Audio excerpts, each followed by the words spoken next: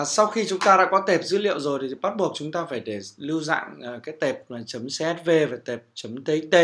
Đây là cái tệp chuẩn dữ liệu của Facebook họ quy định các bạn nhé. À, sau đó thì chúng ta sẽ bấm vào nút tải tệp lên.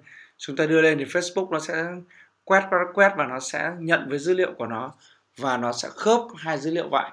Và nếu như mà chúng ta có cái dữ liệu đó ở trên Facebook thì chúng ta sẽ ghi nhận được một cái số lượng tài khoản, một cái số lượng thành viên dưới dạng mã ID và không được biết đấy là ai. Và sau đó thì chúng ta sẽ chạy quảng cáo đến cái tệp đấy. Chúng ta có được cái tệp đối tượng này sau đó thì chúng ta sẽ chạy đến trong cái phần nhắm chọn của mình. Như vậy là tôi vừa hướng dẫn các anh chị xong à, liên quan đến cái việc tạo đối tượng tùy chỉnh về à, cái phương pháp thứ nhất. Đấy, và chúng ta đặt tên ra chúng ta tiếp đúng không ạ? Thế nhưng vì là chúng ta không tạo ra cho nên tôi chỉ làm mẫu thế thôi. Tiếp tục đấy là chúng ta sẽ tạo cái đối tượng tùy chỉnh từ lưu lượng truy cập vào trang web lưu lượng truy cập vào trang web tức là sao? Tức là một cái user Facebook họ truy cập vào website của bạn, ví dụ như phananhonline.com và họ sẽ bị lưu trữ thông tin trở lại nếu như mà bạn gắn mã pixel vào theo dõi. Và sau đó thì cái mã ID người dùng đấy sẽ được à, Facebook đưa vào cái tệp đối tượng tùy chỉnh này, và nó sẽ lưu lại lưu lại, nó làm đầy cái tệp này. Sau đó chúng ta lại chạy quảng cáo đến cái tệp đó, đúng không ạ? Nghe mô tả thì nó hơi khó hiểu thì chúng ta sẽ làm sao? Để mà chạy được quảng cáo cái loại hình kiểu như thế này thì việc đầu tiên chúng ta sẽ phải tạo ra pixel. Thì pixel là gì? Thì pixel ở đây nó là một cái mã uh, à, theo dõi mà Facebook họ lập ra. Và trong mọi cái tài khoản quảng cáo đều có mã pixel nhá. Và chúng ta sẽ tạo ra cái mã pixel này. À, cái mã này thì là miễn phí cái mã này là miễn phí. Đây chúng ta sẽ nhìn thấy đúng không ạ? Chúng ta sẽ copy cái mã này. Đấy, ở đây thì Facebook nó cũng hướng dẫn chúng ta này chúng ta copy cái mã này. Đấy, sao chép? Sau đó chúng ta dán cái mã này vào website của chúng ta. À, đây nó hướng dẫn là sao chép mã bên dưới rồi dán mã này vào giữa thẻ head và thẻ head trong mã của trang web của bạn. Đây là mã lập trình ngôn ngữ HTML trong website. Thế thì chúng ta copy và chúng ta vứt vào website của chúng ta. Sau khi chúng ta vứt vào website của chúng ta thì website của chúng ta lúc đấy uh, sẽ có một cái tính năng là là theo dõi. Và những cái Facebook user nào mà truy cập vào website của chúng ta thông qua trình duyệt bởi vì trình duyệt web của chúng ta bây giờ là trình trình duyệt tab đúng không ạ? Chúng ta thấy là có rất nhiều tab. Đấy ví dụ như là bây giờ tôi cũng đang lướt Facebook như thế này. Và tôi sẽ truy cập vào cái trang ờ, e-marketing của tôi trang fan anh online của tôi. Đấy, tôi giả sử. Thế thì nếu như cái trên cái trang web này của tôi hoặc của các anh chị có uh, gắn mã pixel thì cái Facebook user này cái Facebook user này chính là tôi đấy. Trong trường hợp này là các anh chị đấy đúng không ạ? Thì sẽ được lưu lại trong cái phần tệp đối tượng này. Và sau đó thì uh, chúng ta sẽ có quyền chạy quảng cáo đấy. tất nhiên là đấy là về mặt lý thuyết. Đấy. chúng ta sẽ tạo ra đối tượng. À, cái biểu tượng màu đỏ ở đây cho thấy rằng là pixel này chưa gắn vào web nên màu nó đỏ khi nào mình gắn vào web thành công thì cái biểu tượng ở đây nó sẽ là màu xanh lá cây. Đấy, cái mã ID pixel này nó tương ứng với từng tài khoản quảng cáo khác nhau. Mỗi một tài khoản quảng cáo đều có một mã pixel nhưng không tài khoản nào giống tài khoản nào đúng không ạ? Bạn dùng cái tài khoản quảng cáo của tôi gắn vào website của bạn thì pixel đấy sẽ được theo dõi và tệp đối tượng đấy sẽ được trả về tài khoản quảng cáo của tôi. Không có trên tài khoản quảng cáo của bạn đâu mã nào theo dõi thì cái tài khoản đấy sẽ được hứng. Các anh chị nhé lưu lượng truy cập của trang web là gì? Đúng ạ. Bất kỳ ai truy cập trang web của bạn à, vào bất kỳ trang nào cũng được. Những người truy cập các trang web cụ thể à thí dụ như là trên website à, à, Phan Anh Online của tôi có một đường link giới thiệu về khóa học có một đường link giới thiệu về à, cái cuốn sách này đúng không ạ? Thế thì à, cái đường link về khóa học là một đường link cụ thể. Đường link giới thiệu về cuốn sách này là một đường link cụ thể và kỳ vọng rằng là mình sẽ bán khoa học mình sẽ bán sách mình sẽ bán quần áo bán giày dép. Các cái các chị hiểu chưa ạ? Tức là các sản phẩm khác nhau nó sẽ có cái đường link khác nhau ý là thế. À, những người truy cập các trang web cụ thể nhưng không truy cập một cái trang nào đấy những người không truy cập trong một khoảng thời gian nào đấy, à, kết hợp tùy chỉnh đúng không ạ? Có cái này và thêm các điều kiện khác. Đấy, thì mình có thể kết hợp. Ví dụ như là truy cập website trang chủ nhưng mà lại phải truy cập trang con kiểu kiểu như thế. Hoặc là thêm loại trừ đúng không ạ? Không bao gồm những cái điều kiện nào. Thì cái này là kết hợp tùy chỉnh. À, cái cuối cùng à, cái cuối cùng ở đây tức là gì? Ý thằng Facebook nó nói là cái số ngày mà mọi người vẫn thuộc đối tượng của bạn sau đó thì họ có thể sẽ bị xóa khỏi cái đối tượng này. Đúng không ạ? Nếu như mà cái khoảng thời gian đấy mà họ không quay lại web thí dụ như là tối đa là 180 ngày bây giờ giả sử bạn đặt 60 ngày tôi giả sử thế.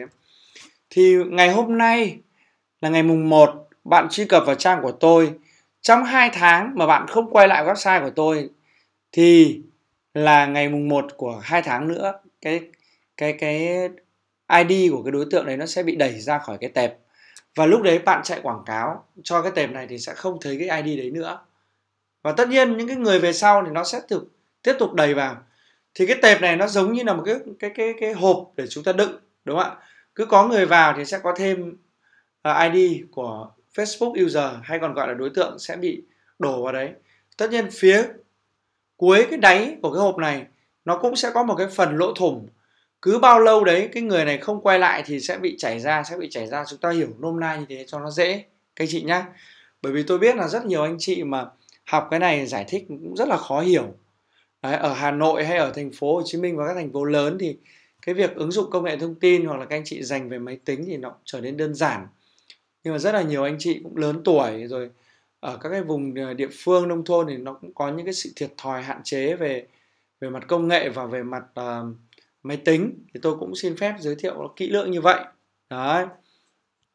Chúng ta đặt tên cho nó. Ví dụ như là truy cập website phananhonline.com tôi lấy ví dụ mình đặt tên cho nó cho mình tạo ra.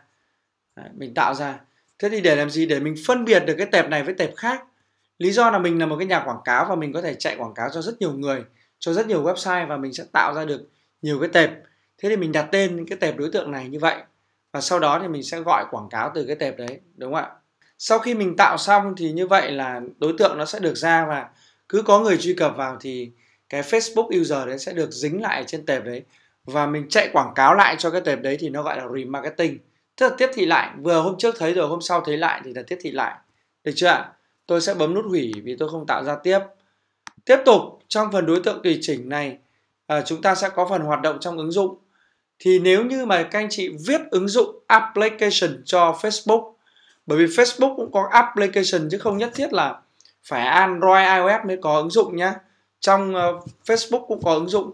Và nếu như mà mình tạo ra cái ứng dụng này và những người người ta chơi cái ứng dụng này trên Facebook thì bạn có thể remarketing những người đã chơi ứng dụng tuy nhiên là nếu như mình bán hàng hóa hữu hình dịch vụ thì rất là ít khi chúng ta sử dụng đến cái dịch vụ này.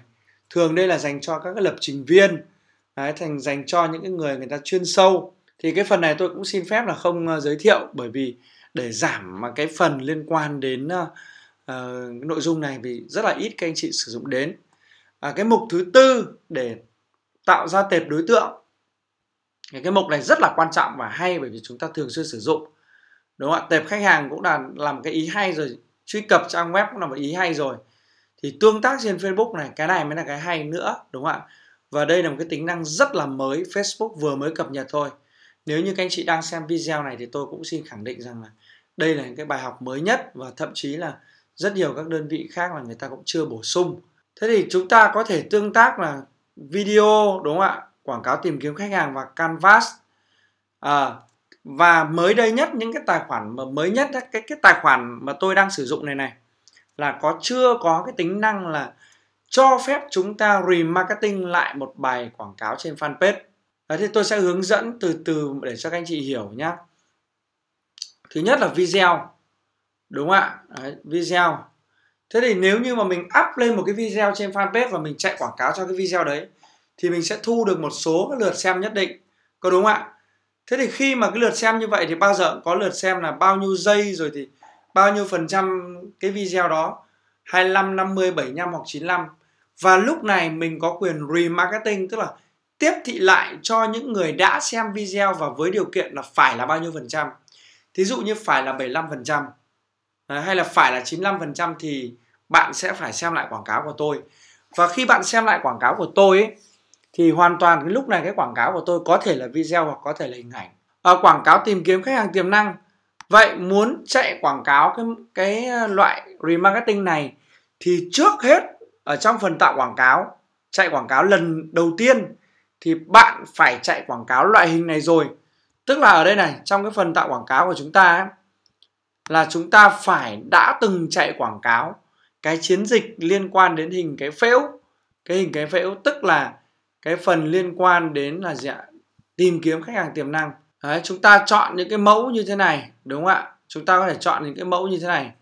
À, sau đó chúng ta à, sẽ remarketing là bất kỳ ai đã mở mẫu hoặc là những người đã mở mẫu nhưng không gửi mẫu đúng không ạ? Những người đã mở và gửi. Mở nhưng không gửi là sao? Xem quảng cáo loại hình này nhưng mà không điền form đúng không ạ? Xem quảng cáo và đã điền form. Đây rồi mình cũng đặt tên đối tượng mình cũng viết mô tả ra để cho để phân biệt đối tượng này với đối tượng khác được chưa mình cũng thử xem vâng nhỏ hơn 90 ngày. Ok 90 ngày là mức tối đa.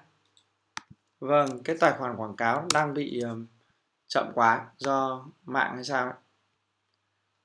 ok và canvas đúng không ạ? Thì việc đầu tiên các anh chị cũng phải tạo ra canvas. Đấy tạo ra canvas bằng cách là lên fanpage tạo canvas và sau đó chạy quảng cáo canvas. Nhớ luôn luôn nhớ là cái bài này này là người ta nói remarketing là tái đúng không ạ? Tiếp thị lại tái. Tức là trước đấy phải làm rồi thì sau đấy mới tái được mới lại được. Thế thì trước đấy là mình đã phải tạo cái canvas và mình đã chạy cái canvas đấy rồi. Những người đã xem cái canvas đấy đúng không ạ? Ví dụ như thế. À, bao gồm những người đã mở canvas và những người đã nhấp vào liên kết đúng không ạ? Quá khứ 165 ngày nhập tên đối tượng vân vân ok.